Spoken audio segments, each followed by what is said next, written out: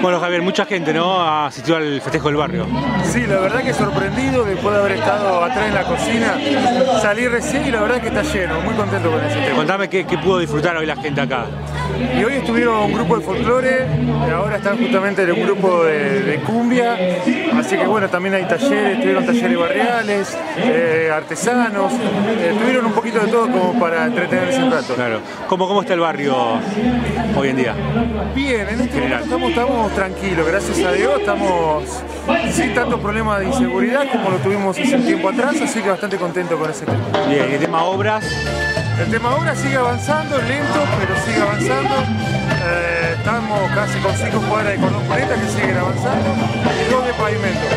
Bien. Así que bien. bien. ¿Y qué le estará faltando hoy al barrio?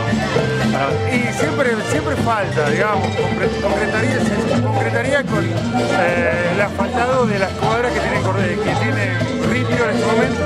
Eso sería ya lo máximo a lo que quisiéramos conseguir, digamos.